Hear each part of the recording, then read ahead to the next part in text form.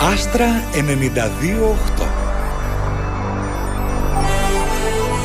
Υπεύθυνο ραδιόφωνο Με νεανική ψυχή.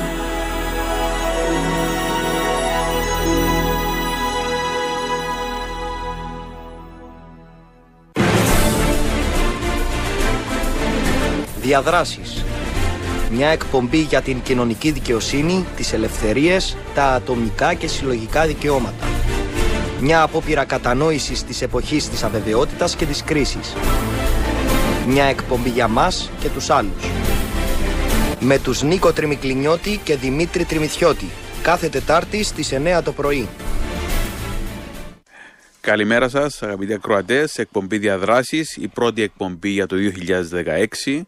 Ε, χρόνια πολλά, καλό νέο έτος και μ, ελπίζουμε ότι θα έχουμε και εξελίξεις προς θετική κατεύθυνση αυτή τη φορά. Να αναφέρουμε ότι η εκπομπή μας αυτή είναι ηχογραφημένη, γι' αυτό δεν θα μπορείτε να στέλνετε μηνύματα ε, σι- τουλάχιστον για τη σημερινή εκπομπή. Ο κρεχτός μας προσκεκλημένος σήμερα είναι ο Νεοκλήσος Ηλικιώτης, Ευρωβουλευτής. Καλημέρα. Καλημέρα, χρόνια πολλά ε, στους ακροατές του Άστρα και εύχομαι νέα χρονιά το πρώτο στο να είναι καλύτερα από την προηγούμενη από την χρονιά. προηγούμενη.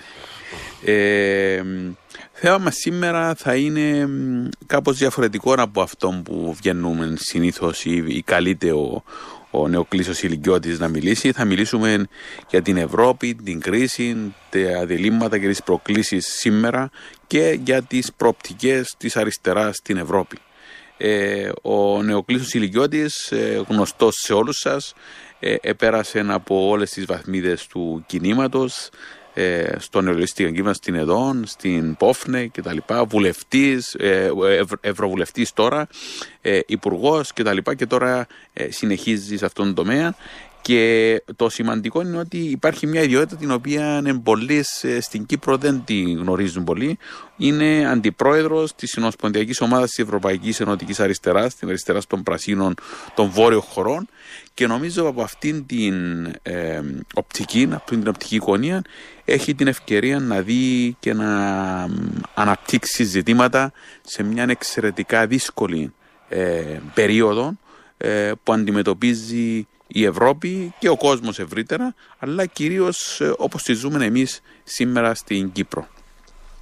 Ε, Νεοκλής Οικειώτη, να ξεκινήσουμε από αυτήν την ιδέα. Την, η Ευρώπη βρίσκεται σε ε, μια κατάσταση κρίσης, σε, μια, σε έναν ιστορικό σημείο όπου φαίνεται να αντιμετωπίζει σοβαρά προβλήματα ως προς το μέλλον της ε, και θα έλεγες είναι οι κύριες προκλήσεις που έχει να αντιμετωπίσει σήμερα. Ε, πρώτα πρώτα να πούμε ότι η Ευρωπαϊκή Ένωση και ξεκινώντας α, από τα θέματα μ, ε, εξωτερικής πολιτικής που είναι και τα πιο σημαντικά α, συνηθίζεται να λέτε ότι η Ευρωπαϊκή Ένωση δεν έχει ε, κοινή εξωτερική πολιτική. Παρόλα αυτά α, οι κυρίαρχες δυνάμεις οι μεγάλες ε, χώρες αλλά και οι κυρίαρχοι κύκλοι ε, της Ευρωπαϊκής Ένωσης ε, ακολουθούν θα έλεγα κατά πόδας την εξωτερική πολιτική των ΗΠΑ. Ε, και παίρνοντας την ευκαιρία με το τι συμβαίνει στην περιοχή μας, είναι ξεκάθαρο ότι η Ευρωπαϊκή Ένωση και οι μεγάλες δυνάμεις όχι μόνο στήριξαν τις υπερελεγιστικέ επεμβάσεις των ΗΠΑ στην περιοχή με την λεγόμενη Αραβική Άνοιξη που έχει μετατραπεί σε ένα βαρύ χειμώνα για τους λαούς της περιοχής ε, και μάλιστα οδηγά σε ε, ε, μεγάλες περιπέτειες και ε, την παγκόσμια ειρήνη ε, συμμετείχαν ενεργά σε αυτούς τους υπηρετικούς πολέμους. Και ξέρετε, όταν ασκούμε αυτή την κριτική από την πλευρά της δεξιάς, πολλοί λένε «Μα δεν είναι οι ευρωπαϊκοί θεσμοί, είναι οι μεγάλες χώρες όπως η Γαλλία, η Μεγάλη Βρετανία και άλλες χώρες». Ε, δεν είναι αλήθεια αυτό. Διότι οι, οι ευρωπαϊκοί θεσμοί, το Συμβούλιο και η, η Επιτροπή στήριξαν αυτές τις πολιτικές. Ε, πολιτικά, για να μην πω ότι στήριξαν αυτές τις πολιτικές και οικονομικά και με άλλα μέσα. Δεν είναι μόνο ηθική στήριξη που παρήχαν. Άρα α, θεωρώ ότι α, αυτή η μεγάλη περιπέτεια αλλάζει ε, α, α, άρδιν ε, και ε, την κατάσταση στην περιοχή. Είναι γνωστό ότι αυτό που γίνεται στην περιοχή είναι η πολιτική των Ηνωμένων Πολιτειών η οποία ήδη από τον καιρό του Μπούς του νεότερου είχε πάρθει η απόφαση για επαναχάραξη των συνόρων. Ήταν τα σχέδια για την ε, Μεγάλη Μέση Ανατολή ε, μια περιοχή η οποία ε, αντιλαμβάνεστε είναι ε, από τις πιο όχι μόνο κρίσιμες ζώνες στον πλανήτη είναι και η περιοχή όπου είναι σημαντική για τα ενεργειακά της αποθέματα είναι σημαντική ενεργειακή διαδρόμη άρα από αυτόν τη σκοπιά θεωρώ ότι η, η, παρέμβαση της Ευρωπαϊκής Ένωσης όχι μόνο είναι σε λάθος κατευθύνση ε, δημιουργά, ε, επιβαρύνει το κλίμα και το χειρότερο ποιο είναι ότι οι, ε, τις αρνητικές συνέπειες αυτής της κρίσης τις δέχεται περισσότερο η Ευρώπη. Και όταν λέμε Ευρώπη, ε, αναφέρομαι στους κυρίως τους ευρωπαϊκούς ε, λαούς. γιατί είναι μια περιοχή που συνορεύει. Βλέπετε τι γίνεται τώρα με την προσφυγική κρίση και την αδυναμία της Ένωσης να διαχειριστεί αυτή την προσφυγική κρίση ε, μάλιστα φτάνουν στο σημείο να, είναι σε κίνδυνο η ίδια η συνοχή της Ένωσης. Ε, όμως, παράλληλα με αυτά πρέπει να πω ότι έχουμε, η Ευρώπη αντιμετωπίζει σοβαρά προβλήματα και σε ό,τι αφορά ε, την, ε, το συνέχεια και το βάθημα της οικονομικής κρίσης. Ναι, ε, τα οποία συμμαθώνονται. Αλλά να μείνουμε λίγο όμως στο θέμα της, α, αυτής της αποτυχίας των πολιτικών στην εξωτερική πολιτική. Δηλαδή αυτοί οι μελετητές μιλούν για απόλυτη αποτυχία αυτών των πολιτικών που ονομάζουν regime change, καθεστοτική μεταβολή, ε, liberal peace project, φιλελεύθερη ειρήνευση κτλ. Και αυτό φαίνεται σε όλες τις χώρες που έχουν επέμβει. Ε, δηλαδή είτε μιλούμε για την Λιβύη, είτε μιλούμε για το Ιράκ, είτε για το Αφγανιστάν, ε, πρόσφατα η Εμένη, η, η Συρία, ε, το Παλαιστινιακό, δηλαδή ολόκληρη η περιοχή γύρω μας βρίσκεται σε αυτήν την τρομερή κρίση, την οποία την έχει προκαλέσει οι Ηνωμένες Πολιτείες και φυσικά η Ευρωπαϊκή Ένωση, που η οποία έχει άμεση παρέμβαση. Δηλαδή, η ιδέα της Ευρωπαϊκής Ένωσης ω η λεγόμενη ήπια δύναμη και ότι δεν είναι αντίβαρο ε, στις υπεριαλιστικές επεμβάσεις των ΗΠΑ δεν φαίνεται να ισχύει με αυτά που συμβαίνουν. Σε κάποια περίπτωση, το, το, το αντίθετο. Ακολουθεί μια πολιτική, πρώτα-πρώτα ακολουθεί μια πολιτική δύο μέτρα και δύο στάθμα. Τι σημαίνει ο, α, θέλουν να επιβάλλουν α, τη δημοκρατία ε, με τη δύναμη των όπλων.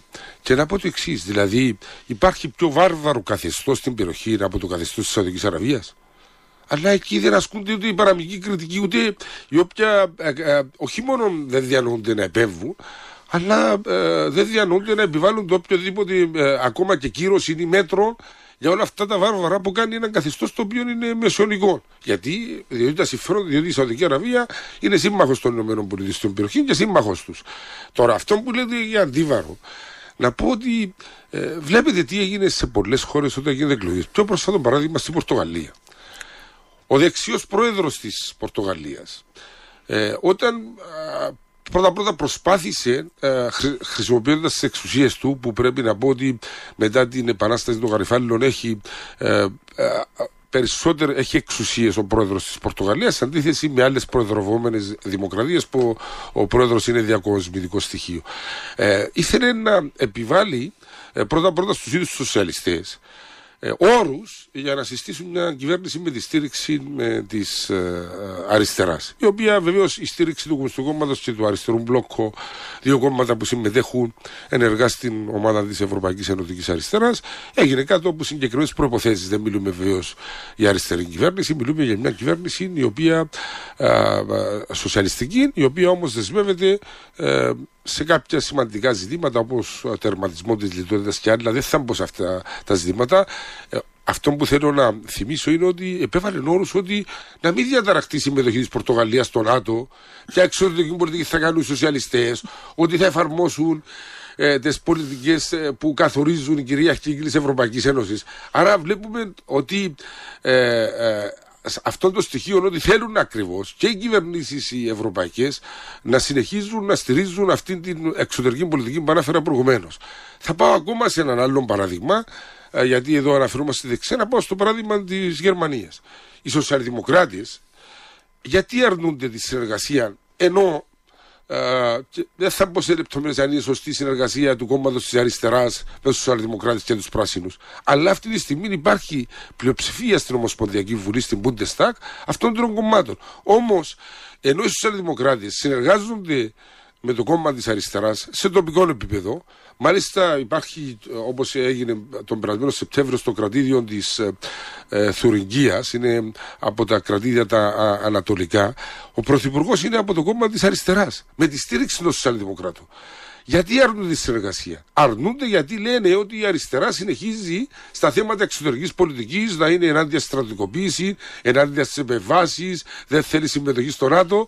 Άρα ε, και για τους σοσιαλδημοκράτες και για τους δεξιούς στην Ευρώπη, που είναι οι κυρίαρχες ε, δυνάμεις στην Ευρώπη, ε, ε, είναι καθοριστικό στοιχείο να συνεχιστεί ε, αυτή η πολιτική ε, σύμπλευση με τα υπηρεσιακά σχέδια των ΗΠΑ, αλλά και εξυπηρέτηση των ίδιων των υπηρεσιακών σχεδίων των δυνάμεων, των κυρίαρχων δυνάμεων της Ευρωπαϊκής Ένωσης. Ε, έχετε να δείξει ένα πολύ ενδιαφέρον θέμα. Λέτε ότι ένας άξονας σημαντικής πολιτικής πλέον είναι εξωτερική πολιτική σε σχέση με την αριστερά. Δηλαδή, αν θέλει η αριστερά να μην αυτοαναιρεθεί, πρέπει να θέσει κάποια βασικά ζητήματα σε ζητήματα εξωτερικής πολιτικής και αυτό φαίνεται πλέον να είναι μέσα στο κέντρο της πολιτικής. Εκεί που θεωρείται κάτι εξωτερικό, κάτι δευτερεύουσα, δευτερεύουσα σημασίας. Τούτον ανεί ε, κάποια ζητήματα που πρέπει να τα δούμε. Τούτον έχετε συζητήσει σαν ενωτική αριστερά, ε, σαν ε, ομάδα. Ναι, αυτό μου είναι ευκαιρία αγαπητοί λίγο να πω κάποια πράγματα σε ό,τι αφορά την ε, ε, ομάδα της Ευρωπαϊκής Ενωτικής Αριστεράς, διότι πολλές φορές υπάρχει μια πληροφορία στην Κύπρο, αλλά τα πράγματα είναι ε, πολλές φορές ε, προβάλλονται λίγο συγκεκριμένα. Η ομάδα της Ευρωπαϊκής Αριστεράς, κατά την άποψή μας, είναι η μόνη ενωτική πλατφόρμα των αριστερών κομμάτων στην Ευρώπη. Και μέσα στα αριστερά κόμματα συμπεριλαμβάνω και τα κομμουνιστικά κόμματα που έχουν εκπροσώπηση ε, στο Ευρωπαϊκό Κοινοβούλιο ε, και τα κόμματα της ε, βόρειας πράσινης αριστεράς και τα κόμματα της αριστεράς όπως είναι το κόμμα της αριστεράς, ο ΣΥΡΙΖΑ, η Ποδέμος και τα νέα κινήματα. Ε, και υπάρχουν και κόμματα που έχουν έναν αριστερό πατριωτικό χαρακτήρα όπως είναι το Sinn Féin στην Ιρλανδία. Ε, το λέω αυτό γιατί είναι, είναι μια πλατφόρμα η οποία βεβαίως έχουν μεγάλες ε, σημαντικά ζητήματα και ιδεολογικές και πολιτικές διαφορές. Όμως αυτό δεν μας εμποδίζει να αναδεικνύουμε τα κοινά και πρέπει να πω ότι στα θέματα εξωτερικής πολιτικής υπάρχουν πάρα πολλές συγκλήσεις και παρεμβάσεις από την αριστερά. Ε, να σας πω την παρέμβαση που είχαμε σε ό,τι αφορά την Ουκρανία. Δεν ταυτίζονται όλοι. Υπάρχουν και κάποιοι που θεωρούν, που βλέπουν κριτικά ε, τη στάση της Ρωσίας, όμως ε, όλοι στηρίξαμε ε, καταδικάσαμε την πραξιωματική κυβέρνηση της ακροδεξιάς τη, ε, της Ουκρανίας, την κήρυξη ε, που κήρυξαν το Κομμουνιστικό Κόμμα παράνομο. Έχουμε κοινή στάση σε ό,τι αφορά το Παλαιστινιακό, κοινή στάση σε ό,τι αφορά ε, τις επεμβάσεις που γίνονται στις, στην περιοχή. παρόλο που πρέπει να πω ίσως η εξωτερική πολιτική είναι ένα από τα στοιχεία που σε μερικά ζητήματα έχουμε σοβαρή διάσταση απόψεων. Ε, ε, επαναλαμβάνω, δεν μας εμποδίζει τούτο να, να, να αναβάλουμε ε, πρωτοβουλίες σαν Ευρωπαϊκή Αριστερά και οι πρωτοβουλίες που ανάλαβε η Ευρωπαϊκή Αριστερά τόσο εντός όσο και εκτός του Ευρωκοινοβουλίου για τη διαχείριση του προσφυγικού, ενάντια στις επεμβάσεις, ενάντια στους πολέμους, ενάντια ε, στον μιλιταρισμό που αναδεικνύεται. Νομίζω ότι αυτά είναι στοιχεία που αναδεικνύουν ένα διαφορετικό ρόλο της αριστεράς ως η δύναμη η οποία μπορεί να σπρώξει τα πράγματα ε, για να υπάρξει περισσότερη ειρήνη, ε, περισσότερη αλληλεγγύη, περισσότερη ε, δικαιοσύνη σε ό,τι αφορά στις διεθνείς σχέσεις, παρόλο που δεν έχουμε αυταπάτες, διότι οι διεθνείς σχέσεις καθορίζονται πάντοτε στην εποχή που ζούμε, της νέας τάξης πραγμάτων, επιβάλλονται πάντοτε τα συμφέροντα των ισχυρών. Να, να μπούμε στο επόμενο θέμα που ανοίξαμε, που είναι το θέμα της λιτότητας, αυτής της κρίσης και αυτής της φαυλότητας, της κρίσης και αυταρχικής λιτότητας. Ε, υπάρχει η άποψη ότι η αιμονή στην αυταρχική λιτότητα ε, κατήργησε στην πράξη την όποια επίθεση για μια άλλη Ευρώπη, Ευρώπη της αλληλεγγύης. Υπάρχει άποψη ότι ε, στην κόντρα για παράδειγμα μεταξύ Ελλάδα, της Ελλάδας με τους θεσμούς στην Τρόικα όπου τελικά η ελληνική κυβέρνηση συνθηκολόγησε ε, δεν είναι αυτό παρά μια έκφανση της εξασθένησης της διαδικασίας, της όποιας προοδευτικής πρευτικών στοιχείων υπάρχουν στη διαδικασία της ευρωπαϊκής ενοποίησης. Ε, και το παράδοξο είναι ότι η Γερμανία, ο ηττημένος από το δεύτερο παγκόσμιο πόλεμο, ε, βρέθηκε να είναι ο κερδισμένος στον μεταπολεμικό διακανονισμό, έγινε κυρίαρχος του παιχνιδιού και τον επιβεβαιώνεται και από τους, την, τους εξευτελιστικούς όρους που επιβάλλει τις συνθηκαλογήσεις, όχι μόνο για την Ελλάδα, αλλά είτε μιλούμε για την Πορτογαλία, είτε για, την, για όλη την περιφέρεια της Ευρώπης. Τι, τι βλέπετε, τι, τι βλέπουμε σαν ε, αριστερά ε, για τις προοπτικές; Είναι δύσκολα ζητήματα αυτά για, την, για τον τρόπο που πρέπει να αντιμετωπιστεί η ευρωπαϊκή διαδικασία, η ενοποίηση και οι σημερινές πολιτικές λιτότητας. Κοιτάξτε, από τη στιγμή που ζούμε σε ένα καπιταλιστικό σύστημα, το οποίο όλο και περισσότερο παίρνει ακόμα πιο βάρβαρες μορφές. Ε, και αυτό είναι ιστορικά δεν ανακαλύπτουμε κάτι εμείς σήμερα, ότι όσο βαθαίνει η κρίση του καπιταλισμού, τόσο ε, και η οικονομική κρίση, τόσο βαθαίνει και ο χαρακτήρας του ως ένα ε, βάρβαρο σύστημα. Ε, και να πω ότι στην Ευρώπη όσο βαθαίνει η ολοκλήρωση, η λεγόμενη ευρωπαϊκή ολοκλήρωση, τόσο αναδεικνύεται περισσότερο οι ανισότητες που υπάρχουν. Και οι ανισότητες ε, τις βρίσκουμε και μεταξύ των χωρών, αλλά και στις ίδιες τις χώρες. Και να πω κάτι το οποίο πιστεύω ότι είναι αθασμένα εκφράζεται το εκλαμβάνει έτσι ο κόσμος, ε, αναφερθήκε στη Γερμανία. Η Γερμανία ενισχύεται η οικονομία της, κερδίζει από την κρίση. Ε, εδώ από την κρίση στην Νότια Ευρώπη έχει κερδίσει δισεκατομμύρια η Γερμανία. Αλλά ε, ε, ποια είναι η πραγματικότητα; Δεν κερδίζει ο γερμανικός λαός. Στην ίδια τη Γερμανία αυξάνεται ο αριθμός αυτών που βρίσκονται στο περιθώριο αυτοί, αυτών που οδηγούνται κάτω από το όριο της φτώχειας. Πάνω από 20%. Ακριβώς, είναι πάνω από 20%. Άρα και ο πλούτος αυτός μεταφέρεται στους λίγους. Ε, έτσι διευρύνονται, μεγαλώνουν οι ανισότητες βέβαια μεταξύ των διάφορων περιοχών της Ευρωπαϊκής Ένωσης, μεγαλώνουν και οι ανισότητες στα ίδια τα ανεπτυγμένα κράτη όπως είναι η Γερμανία. και αυτό είναι αποτέλεσμα της λιτότητας. Και να πούμε ότι στη Γερμανία εκεί εμφανίστηκε για πρώτη φορά το τάμπινγκ μισθό. 15 χρόνια παρέμειναν οι, οι μισθοί στα ίδια επίπεδα στη Γερμανία. Δηλαδή και οι Γερμανοί οι εργαζόμενοι ε, είναι και αυτοί θύματα της ε, ε, ε οικονομικής ε, κρίσης όπως βεβαίως θύματα είναι ολόκληρες περιοχές και λαοί στην Νότια Ευρώπη μεγαλώνοντας τις περιφερειακές ανισότητας. Δηλαδή όσο βαθαίνει αυτή η ολοκλήρωση μεγαλώνουν οι αντιθέσεις, μεγαλώνουν οι ανισότητες, συσσωρεύεται ο πλούτος και η δύναμη ε, στη μικρή πλειοψηφία και η μεγάλη πλειοψηφία του λαού ε, και των λαών οδηγείται στην περιθροπίαση, στην ανεργία και στη φτωχοποίηση. Ε, αυτή η πολιτική η οποία επιβάλλεται μέσα από τους θεσμούς και κατά ψέματα η, η, η ίδια η αρχιτεκτονική της Ευρωζώνης ευνόησε και τη Γερμανία και άλλες κυριαρχίες δυνάμεις να επιβάλλουν την οικονομική τους πολιτική. Μέσω της επιβολής της νομισματικής πολιτικής επιβάλλουν και την οικονομική πολιτική. Και μάλιστα προχωρούν και ε, σε περαιτέρω βήματα. Εκεί δηλαδή που υπήρχε το σύμφωνο σταθερότητας, προσπαθούν να θεσμοθετήσουν αυτό το σύμφωνο σταθερότητας που επιβάλλει πολιτική λιτότητας, ε, με, μάλιστα με έναν τρόπο αυθαίρετο. Ε, σήμερα επιβάλλονται νέες πολιτικές όπως είναι το, η πολιτική για το ευρωπαϊκό εξάμεινο, οι πολιτικές ότι πρέπει να υπάρχουν ισοσκελισμένοι προπολισμοί. Ναι. Και γνωρίζω πολύ καλά ότι όταν υπάρχει ε, σε ε, ένα κράτος, σε ε, μια χώρα κρίση, το κράτος είναι εκείνο που θα με τις επενδύσεις του, ο οποίος το κράτος πάντα είναι ο μεγαλύτερος επενδυτής, θα δώσει μια θα δώσει μια όθηση για να υπάρχει επανεκκίνηση της οικονομίας. Όταν υποβάλλονται πολιτικές λιτότητες, αυτό που γνωρίζουμε βεβαίως και στην Κύπρο και δεν επενδύει το κράτος, σταματούν δηλαδή τα έργα ανάπτυξης που γίνονται, ε, τότε αυτό επιδρά σε όλη την κοινωνία και ε, βαθαίνει η ύφεση ε, και βεβαίως αυξάνονται τα ποσοστά ανεργίας και φτωχοποίηση του λαού. Ε, τώρα, το χαρακτηριστικό ποιο είναι στην Ευρώπη; Στην Ευρώπη είναι επιβάλλα σε κάποιες χώρες μνημονιακές πολιτικές. Αυτά τα μνημόνια ε, οδήγησαν πρώτα-πρώτα το να αξιωθεί η ίδια, το ίδιο το κράτο, ο κοινωνικός ιστός, αλλά ε, βλέπουμε και ένα άλλο χαρακτηριστικό. Είναι κάτι που τονίζουμε πολλές φορές ως αριστερά σε συζητήσεις στην Επιτροπή Έρευνας ε, Βιομηχανίας και Ενέργειας, της οποίας ε, τη χάνει να είμαι ο συντονιστής του της αριστεράς. Υπάρχει μια αποβιομηχανοποίηση του Νότου.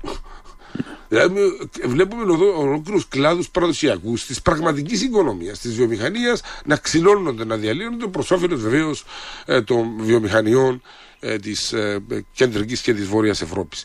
Ε, αποτέλεσμα να μην υπάρχει η διέξοδος για αυτούς τους λαούς. Το δεύτερο είναι ότι ως αποτέλεσμα της λιτότητας η, και μετά την λεγόμενη την, που θα έχουμε και εμείς σε λίγους μήνες δηλαδή την έξοδο από το μνημόνιο και αυτό το, που προσπαθούν να προβάλλουν ως το success stories με αυτό το, το έργο ότι θα μην επαναλαμβάνεται και στην Ιρλανδία και στην Πορτογαλία. Και ποιο είναι το αποτέλεσμα; Οι ίδιες πολιτικές εκποιήσεων, ιδιωτικοποιήσεων, ε, λιτότητας, ε, ενίσχυσης της ανεργίας και της μετανάστευσης συνεχίζονται ε, και στην Ιρλανδία και στην Πορτογαλία παρόλο που είχαν το success story. Και αποτέλεσμα στην Πορτογαλία η δεξιά, κυβέρνηση που ήταν ο κυρίαρχος φορέας εφαρμογής αυτών των πολιτικών, ιτήθηκε στις εκλογές. Και σήμερα έχουμε μια διαφορετική μορφή ε, κυβέρνησης. Το ίδιο στην ε, Ισπανία. Ναι, το ίδιο και στην Ισπανία βλέπουμε την δυστροφή ναι. στα αριστερά. Θα έλεγα σε όλη την Νότια Ευρώπη. Ε, ε, αναμένουμε ότι και στην, τον Μάρτιο που θα έχει εκλογές στην Ιρλανδία ε, θα δούμε να υπάρχει μια ε, ενίσχυση της αριστεράς. τώρα, αυτό αναγκάζει και δυνάμεις οι οποίες συμπορεύτηκαν σε αυτή την πολιτική. Και αναφέρουμε πρώτα από του σοσιαλιστές, μην ξεχνούμε ότι και στην Ισπανία και στην Πορτογαλία οι πρώτοι που οδήγησαν τις χώρες στα μνημόνια και σε αυτές τις πολιτικές της λιτότητας, της νεοφιλεύθερης πολιτικής ήταν οι σοσιαλιστές. Ε, κάτω από την ε, πίεση των λαϊκών μαζών κάτω από την ε, ίδια την ε, πολιτική κατάσταση όπως εξελίσσεται αναγκάζονται τουλάχιστον λεκτικά να κάνουν στροφή. Δεν ξέρουμε το, α, πόσο συνεπής ναι. θα είναι στην πράξη. Ε, Δυστυχώς η αλήθεια είναι ότι όλες τις προηγούμενες δεκαετίες δεν μας έδειξαν ότι ε, ακολουθούμε με συνέπεια ή θα ακολουθήσουμε με συνέπεια φιλολογικέ πολιτικές. Και είναι εδώ που είναι ο ρόλος βεβαίως του εργατικού και του μαζικού κινήματος και ο ρόλος της αριστεράς μέσα από το, την παρέμβαση την πολιτική και μέσα από την παρέμβαση στο μαζικό λαϊκό κίνημα να ασκεί πιέσεις. Ε, βλέπουμε όμως και ακόμα και κυβερνήσεις, όπως πρόσφατα ο πρωθυπουργός της Ιταλίας, ο Ρέντζι, που έκανε επίθεση της Μέρκελ και της Γερμανίας. Ότι δεν μπορεί να συνεχιστεί η πολιτική της λιτότητας. Διότι την οποία εφαρμόζει με σκληρό τρόπο στην Ιταλία. Αλλά νιώθει αυτή την πίεση. Για να μην πω ότι ε, μια παρόμοια κατάσταση έχουμε και στη Γαλλία. Άρα ε, ε, υπάρχει κατά την άποψή μας μια στροφή στην αριστερά. μια στροφή και μια πίεση να αλλάξει πορεία μπλεύσης τη Ευρωπαϊκή Ένωση, να φύγει δηλαδή από τις πολιτικές λιτότητας. Την ίδια στιγμή όμως βλέπουμε σε κάποιες άλλες χώρες όπου δυστυχώς η αριστερά είναι αδύνατη και αναφέρομαι κυρίως στις χώρες της Ανατολικής και κάπως και της Βόρειας Ευρώπης να ενισχύονται οι δυνάμεις οι, οι ακροδεξιέ, οι ρατσιστικές, ε, ε, Βεβαίως προβάλλοντας με μια πολιτική λιγότερη Ευρώπη, με έναν ευρωσκεπτικισμό. Βλέπουμε τι έγινε στην Ουγγαρία, τι γίνεται τώρα στην Πολωνία. Ναι. Αλλά και σε χώρες όπως είναι η Φιλανδία, η Σουηδία. Ε, ξέρετε, είναι πρωτάκουστον αυτό που συμβαίνει στις τελευταίες μέρες. Επιβάλλουν ελέγχου στα σύνορα. Η Σουηδία που θεωρείται και η Δανία από τις πιο φιλελεύθερες χώρες. Ε, δηλαδή, η πίεση που ασκεί ε, η ακροδεξιά σε αυτές τις χώρες ε, και η ξενοφοβική δεξιά τους αναγκάζει να κινηθούν σε θέσεις ε, που αγγίζουν τα όρια ε, του ρατσισμού. Δεν είναι μόνο δηλαδή ξενοφοβία. Αυτοί είναι οι διάφοροι κίνδυνοι που υπάρχουν στην Ευρώπη. Είναι δυστύχημα ότι στην Ανατολική Ευρώπη δεν υπάρχει δυνατή αριστερά και δυνατό κίνημα. Ναι. Σε αυτό το σημείο ε, να κάνουμε ένα μικρό διάλειμμα προσκεκλημένος μας ο Ευρωβουλευτής Νεοκλής Σιλικιώτης όπου συζητούμε ε, τα ζητήματα που έχουν να κάνουν με την κρίση στην Ευρώπη σήμερα, την πολλαπλή κρίση της Ευρώπης. Άστρα 92-8. Εκπομπή διαδράσεις, επιστρέφουμε. Να σας υπερθυμίσουμε ότι η εκπομπή μας αυτή είναι ηχογραφημένη, επομένως δεν θα μπορείτε να μας στέλνετε μηνύματα. Προσκεκλημένος μας ο Νεοκλής Σιλικιώτης, ο Ευρωβουλευτής και αντιπρόεδρος της ε, ε, Συνοσπονδιακής Ομάδας της Ευρωπαϊκής Ενωτικής Αριστεράς, ε, όπου συζητούμε το ζήτημα της ε, κρίσης στην Ευρώπη, αυτής της πολλαπλής κρίσης της Ευρώπης, και είχαμε μείνει στο σημείο όπου ε, για την επιβολή της, των μέτρων λιτότητας ε, σε όλη την ε, Ευρωπαϊκή Ένωση. η εικόνα που παρουσιάζεται αγαπητέ Νεοκλή είναι ότι αυτή η πολιτική λιτότητα είναι ένας μονόδρομος. Ότι δεν υπάρχουν εναλλακτικές πολιτικές και ότι είναι το φάρμακο που πρέπει να περάσουμε για να μπούμε στην ανάπτυξη στο μέλλον ε, εφαρμόζεται η ίδια μέθοδος, οι ίδιες πολιτικές και όπως σωστά αναφέρει προηγουμένως το, το φάρμακο εντός εισαγωγικών, το οποίο μπορεί να αποδειχθεί και φαρμάκι στο τέλος και αποδεικνύεται φαρμάκι, είναι το ίδιο. Δηλαδή μετά το τέλος των μνημονίων συνεχίζονται οι ίδιες πολιτικές ή γίνεται προσπάθεια γίνονται οι ίδιες πολιτικές, ενώ παράλληλα έχετε εσείς αναδείξει και κάτι πολύ σημαντικό, ότι αυτή η κρίση οδηγεί ε, σε αντιφάσεις όχι μόνο με μια ανισόμετρη ανάπτυξη μεταξύ των χωρών, αλλά εισάγεται και εντός των χωρών των ιδίων. Δηλαδή και στη Γερμανία και στην Αγγλία και στη Γαλλία και στις ισχυρές χώρες της Ευρώπης εισάγεται αναδεικνύεται το νέο ζήτημα που είναι το παλιό ταξικό κοινωνικό ζήτημα. Ε, αυτή η, η κατάσταση που, που μας οδηγεί και πώς βλέπεις να, να, να υπάρχουν προοπτικές για το μέλλον για αυτό το θέμα. Υπάρχει δυνατότητα μια εναλλακτική πολιτική, υπάρχουν δρόμοι άλλοι από αυτούς που βλέπουμε εντός του καπιταλισμού και εντός της Ευρωπαϊκής Ένωσης όπως αναπτύχθηκε σήμερα. Κοιτάξτε, να πούμε ότι δεν θα ανακαλύψουμε και εδώ σε ό,τι αφορά την οικονομία. Δεν είμαι οικονομολόγος, αλλά και δεν θα ανακαλύψουμε κάτι το καινούριο. Εδώ νομπελίστες όπως είναι ο Στίκλιτ, αλλά και άλλοι, τι είπαν, ότι αυτή η πολιτική είναι διέξοδο. Οδηγά στο βάθημα της ύφεσης και της κρίσης. Δηλαδή η κλασική συνταγή που εφαρμόζεται μέσα στα πλαίσια του καπιταλισμού εδώ και δεκαετίες. Όταν υπάρχει κρίση, εκεί παρεμβαίνει το κράτος. Υπάρχει και το είδαμε αυτό και στη Βρετανία, το είδαμε και στι ε, Ηνωμένες Πολιτείες και στην Ισλανδία που είναι μικρή χώρα. Υποτίμηση του νομίσματος, περισσότερες επενδύσεις από το κράτος για να επανεκκινήσει την οικονομία. Ε, αυτό που βλέπουμε στην Ευρώπη είναι ακριβώς το αντίθετο όχι μόνο δεν απελευθερώνεται το κράτος. Και εδώ μου δίνεται ευκαιρία να πω για αυτό όλο το πυροτέχνημα και το παραμύθι που καλλιεργείται ε, σε ό,τι αφορά το λεγόμενο πακέτο Juncker. Διότι είναι ένα, με τα 315 δισεκατομμύρια. Είναι ένα, γιατί είναι ένα πυροτέχνημα; Γιατί επε, επενδύουν ότι τις μεγάλες επενδύσεις θα γίνουν από τον ιδιωτικό τομέα. Η ίδια η Ευρωπαϊκή Ένωση θα παραχωρήσει 16 δις τα οποία αγαπητέ Νίκο, αυτά τα 16 δις δεν είναι ε, ε, ε, φρέσκο χρήμα όπως συνηθίζεται να λέγεται. Είναι περικοπές από άλλα προγράμματα. Δηλαδή έκοψαν 2,7 ε, δισεκατομμύρια από το πρόγραμμα Ορίζοντας 2020. 3,7 από το πρόγραμμα ε, συνδέοντας την Ευρώπη. Δηλαδή από υφιστάμενα προγράμματα έκαναν περικοπές και θα μεταφέρουν ότι αυτά θα είναι το, ε, στο λεγόμενο πακέτο Juncker. Ε, ταυτόχρονα τα α, ακόμα πέντε δις θα δοθούν υπομορφή δανεισμού από την Ευρωπαϊκή Τράπεζα Αναπτύξεως, αλλά την ίδια στιγμή αναμένουν περίπου 300 δις θα δοθούν από τον ιδιωτικό τομέα. Όμως γνωρίζουμε πολύ καλά, και αυτό μπορούν να το επιβεβαιώσουν πάρα πολλοί ε, ε, οικονομολόγοι, ότι εκεί που επενδύεται κάθε ένα ευρώ που επενδύεται από το ε, ε, κράτος ε, προσερκείται ανάμιση ευρώ από, το, από τον ιδιωτικό τομέα. και να πω ότι για να δώσουν κίνητρα στο μεγάλο κεφάλαιο, το ρίσκο των επενδύσεων τους το λαμβάνει το κράτος. Δηλαδή πάλι ο φορολογούμενος.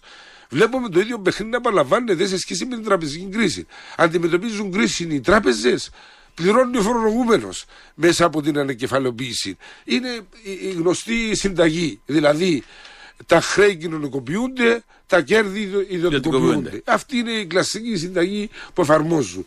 Ε, Άρα όσο συνεχίζεται αυτή η πολιτική ε, δεν μπορεί να ξεφύγει από την κρίση η, η, η, χώρες της Ευρωπαϊκής Ένωσης. Τώρα, τι, τι πρέπει να γίνει, τι αναμένουμε; Ε, μόνο με την ε, στροφή, ε, η οποία είπαμε παρατηρείται σε κάποιες χώρες του Νότου, είναι αδύνατης διότι όλα είναι συναστημένα από το συσχετισμό των δυνάμεων. Ε, και είναι εδώ που πιστεύουμε εμείς ότι δεν φτάνει μόνο ε, να κερδίζουμε κάποιες περισσότερες ε, θέσεις στα κοινοβούλια ή στις κυβερνήσεις. Εκείνο που χρειάζεται είναι να υπάρξει εντατικοποίηση και των μαζικών αγώνων. Διότι οι μαζικοί αγώνες, και είδαμε στις χώρες που εφέρεται ως παράδειγμα που φέραμε ως παράδειγμα προηγουμένως, η Πορτογαλία, η Ισπανία, εδώ δυνάμωσαν οι, οι αγώνες. Ακόμα και η στάση του Προέδρου της Πορτογαλίας που προσπάθησε να ακυρώσει στην πράξη ε, την ετοιμιγορία του πορτογαλικού λαού είναι μαζικές κινητοποιήσεις που τον ανάγκασαν ε, τελικά ε, να, ε, να μην προχωρήσει να λειτουργήσει κατά την άποψή μας πραξιωματικά. Άρα αυτό που χρειάζεται είναι μαζί με την ενίσχυση των αριστερών θέσεων να δυναμώσουν και οι μαζικοί αγώνες διότι οι μαζικοί αγώνες είναι αυτοί που θα συμβάλλουν ώστε να στραφεί η πολιτική και να γύρει πλάστικα περισσότερο προς τα αριστερά να πω ότι μέσα στα ίδια τα σοσιαλιστικά κόμματα σε ε, κύριο λόγο, αλλά και σε πράσινα κόμματα, όταν υπάρχει αυτή η πίεση, αυτή η κινητοποίηση, αναγκάζονται να διαφοροποιούνται. Και αυτό βλέπω όπω συμβαίνει και στο ίδιο το Ευρωκοινοβούλιο. Ε, σήμερα βλέπουμε περισσότερες δυνάμεις, κυρίως στου στους πράσινους που στις περισσότερες χώρες δεν συμμετέχουν στις κυβερνήσεις είναι αντιπολιτευόμενες δυνάμεις να υπάρχει περισσότερη ενίσχυση του ε, πέραν δηλαδή του περιβαλλοντικού, του οικολογικού προφίλ που έχουν, να ενισχύεται το κοινωνικό προφίλ. Και βλέπουμε σε πολλά ζητήματα που έχουν να κάνουν ως πολιτικές έναντι στη λιτότητα, ακόμα και στα θέματα εξωτερικής πολιτικής, να ταυτίζονται με τι θέσει της ομάδας της Ευρωπαϊκής Ενωτικής Αριστεράς. Αλλά είδαμε και ένα καινούργιο στοιχείο το το τελευταίο διάστημα ε, μέσα από την ίδια την ομάδα των Σοσιαλιστών και Δημοκρατών.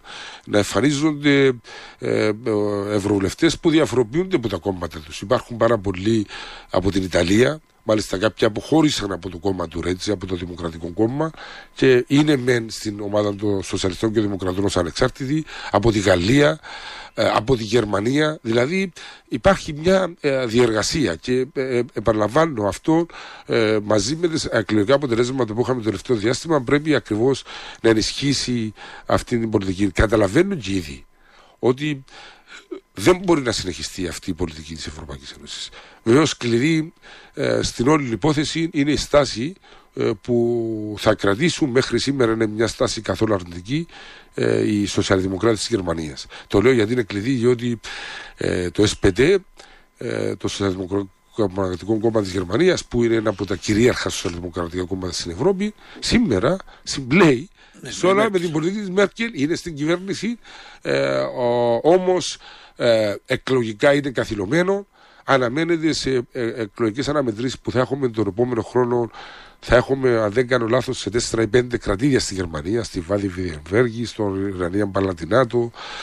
Ε, αναμένεται να ε, υποχωρήσουν. Αναμένεται και εκεί που έχουν κυβερνήσεις ενδεχομένως να τις χάσουν ε, γιατί ε, από τη στιγμή που ακολουθούν και ταυτίζονται πλήρως με τις πολιτικές τις νεοφιλεύθερες του Χριστιανοδημοκρατικού Κόμματος της, ε, της Μέρκελ και του Σόιμπλε αντιλαμβάνεστε ότι ε, οι πολίτες τους στρέφουν ε, την πλάτη, αλλά ε, υπάρχει και ακόμα ένα στοιχείο όμως που είναι επικίνδυνο και για την ίδια τη Γερμανία, ενισχύονται οι δυνάμεις, οι ακροδεξίες, οι ευρωσκεπτικιστικές. Ε, ένα παράδειγμα όμως που έχει ενδιαφέρον είναι το παράδειγμα της Βρετανίας με τον Τζέρμι Κόρπιν. Εκεί η πίεση στο εργατικό κόμμα ανέδειξε έναν αριστερό ηγέτη ενάντια στον πόλεμο, υπέρ των Παλαιστινίων, ενάντια στη σκληρή λιτότητα, υπέρ της, όλων των ζητημάτων που αναδεικνύει αριστερά. Όμως εκεί αντιμετωπίζει ένα τεράστιο δίλημα σαν, σαν ηγέτης, ο οποίος είναι άμεσα εκλεγμένος από, από τη βάση του κόμματος, ότι ιστορικά το εργατικό κόμμα, η ηγεσία του εργατικού κόμματος υπήρξε πάντοτε ε, στραμμένη προς το κατεστημένο, προς τη δεξιά, μια συντηρητική, ας πούμε, ένας συντηρητικός κατεστημένο μέσα στο ίδιο το εργατικό κόμμα. Δηλαδή η αλλαγή των ίδιων των σοσιαλδημοκρατικών κομμάτων είναι γεμάτη αντιφάσεις και αυτή. Ε, Πώς βλέπεις αυτή, πώς πώς κρίνουμε σαν αριστερά αυτές τις τάσεις που υπάρχουν, οι οποίες συνάδουν με, το όλο, με την όλη τάση που ανάφερες προηγουμένως; Εκ το κύριο στοιχείο θεωρώ ότι είναι στα ζητήματα που μπορούν να υπάρχει σύμπλεση χωρίς να έχουμε αυταπάτες, πρέπει να υπάρξει. Ε, στα ζητήματα ειρήνης, στα ζητήματα αλληλεγγύης, ε, ενάντια στον ρατσισμό, ενάντια στον πόλεμο, ε, στα ζητήματα κοινωνικής πολιτικής. Μπορεί να υπάρξει στα ζητήματα της οικολογίας. Υπάρχει σύμπλευση με αυτές τις δυνάμεις. Όμως, εκείνο που πιστεύω ότι είναι το κυρίαρχο, τα κόμματα της αριστεράς, τα κομμουνιστικά κόμματα, τα κόμματα της ευρύτερης αριστεράς, πρέπει να συνεχίσουν να, να ασκούν με αυτή την πολιτική που ασκούν με συνέπεια, να μην δηλαδή υποχωρούν. Δηλαδή, όπου παρουσιάζεται μια προσέγγιση ότι να κινηθούμε να κινηθούν κάποια κόμματα προς τη σοσιαλδημοκρατία, τελικά χάνουν και την ταυτότητά της, αλλά δεν βοηθούν και τη σοσιαλδημοκρατία να πάει σε πιο ριζοσπαστικές θέσεις. Αντίθετα, ε, ε, δικαιώνουν αυτή την παραδοσιακή σοσιαλδημοκρατική πολιτική. Και παράλληλα πρέπει να δυναμώσουν και αγώνες για να ασκείται μια πίεση. Εκεί που υπάρχουν αυταπάτη στα σοσιαλιστικά και σοσιαλδημοκρατικά κόμματα, πού είναι; Ο, και έφερες παράδειγμα πολύ ορθά το παράδειγμα του Κόρπη. Όμως στην προσπάθεια τους να ανέλθουν στην εξουσία, θεωρούν ότι πρέπει να κινηθούμε πιο δεξιά. Ε, και αυτό είναι μια ε, κατά άποψή μας αποδείχτηκε ιστορικά λαθασμένη πολιτική. Διότι κινώντας πιο δεξιά, ενισχύουν τα δεξιά κόμματα. Ε, ή όταν ανέλθουν στην εξουσία, για εκείνο το διάστημα που ανέρχονται, δεν ξεχωρίζει κανένας αν έχουν καμιά διαφορά. Mm. Οι εργατικοί, για παράδειγμα, με τους ε, συντηρητικούς. Ε, δεν βοηθούν δηλαδή ε, να αυτή τη ριζοσπαστικοποίηση που υπάρχει στη βάση τους, που υπάρχει στην ίδια την κοινωνία, ε, να, ε, να την ενισχύσουν. Βεβαίως, είναι εδώ που πρέπει καμιά φορά να υπάρχει και μια μεγαλύτερη υπομονή. το λέω αυτό γιατί συζητώντας με τους συνάδελφους και τους φίλους που είναι από το Ποδέμος η οποία είναι ένα νέο κίνημα, ξεκίνησε ένα από το κίνημα των αγανακτισμένο ε, στην Ισπανία με αριστερά χαρακτηριστικά σε πάρα πολλές θέσεις. Όμως αυτή η αδυναμία, αδυναμονία να ανέλθουν στην εξουσία, τους αναγκάζει να, να συμβάζονται σε αρκετά ζητήματα. Και ο, ο, στον καθένα μα έρχεται στο νου, καλά, τι θα κάνουν όταν σήμερα στην προσπάθεια να, ε, να ενισχύσουν τις δυνάμεις τους ε, ε, συμβιβάζονται, τι θα γίνει αύριο αν αν έρθουν στην εξουσία; Θα κάνω ό,τι έκανε ο Τσίπρας. Ε, ναι, το θέμα δεν είναι ακριβώς. Άρα ε, ε, είναι αυτά τα ζητήματα που, και, που πιστεύω εγώ ότι πρέπει ως αριστερά να δίνουμε προσοχή και επαναλαμβάνω. Να μην ξεχάνουμε ποτέ την δύναμη του ίδιου του εργατικού, του μαζικού κινήματο. ξέρετε, δεν, δεν έχουμε αυταπάτης δεν θεωρούμε εμείς ότι η συμμετοχή μας στο Ευρωκοινοβούλιο θα αλλάξει τα πράγματα. Η συμμετοχή μας στο Ευρωκοινοβούλιο ε, είναι ένα εργαλείο που χρησιμοποιούμε για να δυναμώνουμε τους αγώνες μας. Είναι ε, εργαλείο που χρησιμοποιούμε για να ενισχύουμε ε, τους αγώνες του εργατικού μαζικού κινήματο. Και γι' αυτό ακριβώς σε κάθε ζήτημα που αναδεικνύεται στο Ευρωκοινοβούλιο, ε, προσπαθούμε μέσα από κινητοποιήσεις και μέσα και έξω από το Ευρωκοινοβούλιο να διαδηλώσουμε ακριβώς ε, αυτές τις θέσεις μας. Ε, εδώ μας φέρνεις σε ένα ενδιαφέρον θέμα, σε πολύ σημαντικό θέμα. Σήμερα έχουμε μπροστά μας ανάπτυξη νέων διάφορων κινημάτων της αντιπολιτικής. Ακροδεξιά φαινόμενα από τη μια, ε, άνοδος ε, ρατσιστικών, αντιμεταναστευτικών ομάδων στη Γερμανία και αλλού, στην Ελλάδα και, σε κάποιο, και στη Βόρεια Ευρώπη. Και από την άλλη υπάρχει ένα, μια γενική τάση απαξίωσης της πολιτικής και απαξίωσης συγκεκριμένων θεσμών. Τόσο ε, σε επίπεδο Βουλής, σε επίπεδο κοινοβουλευτικών επίπεδων, μια απαξίωση για τη Βουλή, για τη Βουλή και το κοινοβουλευτικό έργο, όσο και η απαξίωση γενικά για το Ευρωκοινοβούλιο, που υπήρχε πάντα η μεγάλη συζήτηση για απαξίωση των ευρωπαϊκών θεσμών και ότι οι ευρωπαϊκοί θεσμοί λόγω του δημοκρατικού ελλείμματος δεν μπορούν να δουλέψουν, δεν μπορούν να εκφράσουν τον πολίτη. Αυτή η απόσταση που υπάρχει. Αυτό το χάσμα φαίνεται να μεγαλώνει. Δηλαδή οι- δημιουργούνται τα κενά. Βεβαίως, νομίζω ότι ε- έδωσες μια κατεύθυνση για τη σημασία των κοινωνικών αγώνων. Αλλά πώς βλέπεις να διαμορφώνεται αυτό, αυτόν το μεγάλο πρόβλημα, που είναι ένα νέο, είναι μέρος του κοινωνικού ζητήματος που είχαμε προηγουμένως. Μιλούμε για, μιλούμε για ε, άνοδο της ανισότητας, κρίση, απόσταση που υπάρχει αυ- ανάμεσα στην πραγματικότητα και στις, διακι... και τις διακηρύξεις της πολιτικής, αλλά και όλον τη- η απόσταση που υπάρχει ε, σε, στο, στο αυτό που ονομάζουμε παραγωγή της πολιτικής που να έχει αντίκρισμα στον κόσμο. Εσύ πώς βλέπεις το, το μέλλον και πώς το βλέπουμε σαν αριστερά ε, τις προοπτικές αυτές; Πρώτα απ' όλα να πούμε ότι αυτό που εκφράζεται ακόμα και προς την κατεύθυνση της ακροδεξιάς έχει έναν αντισυστημικό χαρακτήρα.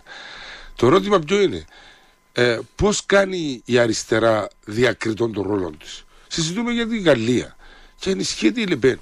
Πού είναι ο διακριτός ρόλος της αριστεράς, Υπάρχει, είναι εμφανή στον κόσμο, στους εργαζόμενους. εννοείς ο Λαν ακολουθά ακριβώς τις ίδιες Ναι, ναι, πολιτικές; Ναι, όχι, ακόμα και, η, ε, και είναι κάτι που ακόμα και ε, ε, το αριστερό κόμμα, ενώ έχει κάποιες σημαντικές διαφορές, ενώ ε, επειδή συνεργάζεται, ταυτίζεται πολλές φορές με το σοσιαλιστικό κόμμα, δεν υπάρχει διακριτός ο ρόλος της αριστεράς.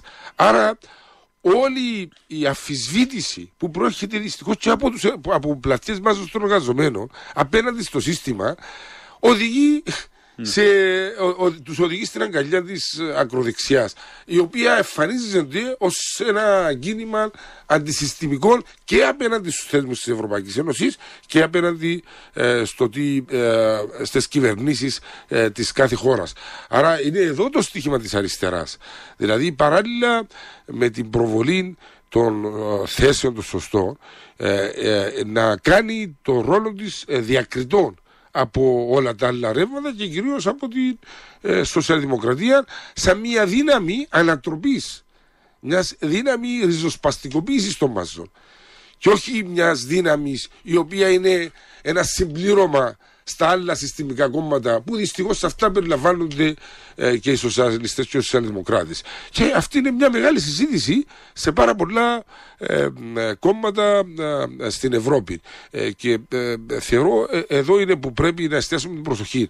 Και ε, θα πω ένα παράδειγμα. Εδώ ε, ξεκίνησε μια συζήτηση στην Ευρώπη και ε, πρέπει να σας πω ότι η αφορμή ήταν και ε, η συζήτηση που είχαμε και στο ε, ε, κόμμα μας, ε, στο ΑΚΕΛ, αλλά κυρίως ήταν μετά ε, την, ε, το ο, πρωτάκουστο, το πρωτόγνωρο κούρεμα ε, που έγινε ε, στις ε, καταθέσεις στην Κύπρο που δεν ξαναγίνει στην Ευρώπη. Αυτό δημιούργησε μια μεγάλη αφισή και, μια, και υπάρχει μια μεγάλη συζήτηση σήμερα σε πάρα πολλά κόμματα ε, για το πού πάει η Ευρωζώνη. Τι είναι η Ευρωζώνη; Ως θεσμός, ως μηχανισμός, ως ένας, ε, ένας μηχανισμός η Ευρωζώνη η οποία είναι έξω από το θεσμικό έλεγχο της Ευρωπαϊκής Ένωσης και ως μια πολιτική που επιβάλλεται ε, ε, στα κράτη μια νομισματική οικονομική πολιτική που οδηγά στα αποτελέσματα που αναφέραμε προηγουμένως.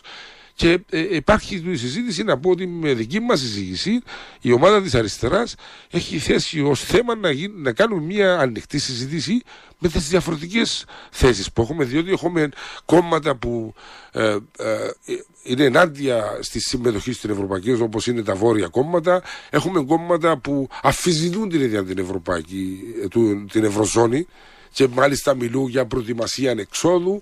Ε, υπάρχουν και κόμματα όμως που θεωρούν ότι μπορεί να αλλάξει η Ευρωζώνη. Λέω ότι τις απόψεις που υπάρχουν στην ομάδα της αριστεράς, ναι. όμως είναι αναγκαίο να συζητήσουμε. Ε, συντροφικά να θέσουμε τις θέσεις κάτω, να διαμορφώσουμε θέσεις πώς μπορούμε να αλλάξουμε ε, α, αυτή την πολιτική. Άρα, από τη στιγμή που θα αναδείξουμε αυτόν τον ρόλο της αριστεράς ε, και μέσα από τους, ε, την παρέμβαση μας στα κοινοβούλια, μέσα από την πολιτική μας παρέμβαση, αλλά επαναλαμβάνω και δεν θέλω να το ξεχάνω ποτέ αυτό, μέσα από τους ε, μαζικούς κοινωνικούς αγώνες. Ε, και στο τελευταίο λεπτό που μας μένει αγαπητέ Νεοκλήση Ηλικιώτη ε, να πούμε κάτι για την Κύπρο. Ε, τα τελευταία δύο χρόνια έχουν φύγει 50.000 Κύπροι για να αποτιμήσουν για το εξωτερικό. ε, σε μια στιγμή κρίσιμη για την Κύπρο, ε, όπου μπορεί να έχουμε και εξέλιξει στο Κυπριακό, όπου αναδεικνύονται διάφορα ζητήματα. Ε, ποιο είναι το μήνυμα που θέλεις να στείλεις ε, στα δεδομένα της Κύπρου, εδώ ως Κυπριακή Αριστερά, ως ΑΚΕΛ, ε, για, το, για τις προοπτικές που ανοίγονται για το 2016. Ε, πρώτα πρώτα να πούμε, ε, ευχόμαστε και ελπίζουμε να προχωρήσει η διαδικασία επίλυσης του Κυπριακού. Ο καθένας καταλαβαίνεται όσο υπάρχει κατοχή, όσο υπάρχει διχοτόμηση, δεν μπορεί ε, να σταθούμε στα πόδια μας από κάθε άποψη. Είναι αυταπάτες ε, αυτοί που προσπαθούν να καλλιεργήσουν ότι ε, μπορούμε να αναπτυχθούμε ε, διατηρώντας το status quo που υπάρχει σήμερα και από άποψη ασφάλειας, από, από, από άποψη ανάπτυξης και από άποψη ευημερίας. Ε, άρα ελπίζουμε να καρποφορήσουν αυτές οι ομιλίες. Όμως θα ήθελα να πω, εκείνο που χρειάζεται όμως είναι να δυναμώσουμε τους αγώνες μας για να αλλάξει η πολιτική της κυβέρνησης Δυσία Αναστασιάδη, η πολιτική οικονομική, η οποία βεβαίως είναι και προέκταση και συνέχεια όλων αυτών που αναφέραμε που βάλλονται από την Ευρωζώνη, αλλά έχει και τα δικά της χαρακτηριστικά. Μην ξεχνούμε ότι ο ίδιος ο Υπουργός Οικονομικών έχει πει ότι το μνημόνιο είναι το δικό μας πολιτικό μανιφέστο. Βλέπουμε τι γίνεται σε ό,τι αφορά ε, τις προσπάθειες για ιδιωτικοποίηση, τη συνέχιση των πολιτικών των εκποιήσεων, τη λιτότητα που εξακολουθεί να ε, εφαρμόζεται, το κουτσίρωμα του κοινωνικού κράτους.